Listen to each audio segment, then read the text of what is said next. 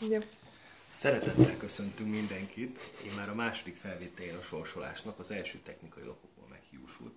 Tehát az olvasás világnapja alkalmából tartunk egy sorsolást. Ugye volt egy kis játékunk, amelynek az volt a célja, hogy a kiskakas gyémánt félkrajcárját, amelyet Benedekelek írt és Nagy Norbert illusztrált, ki kell találnunk, hogy nevet kellett adni, hogy ennek a kiskakasnak mi a neve.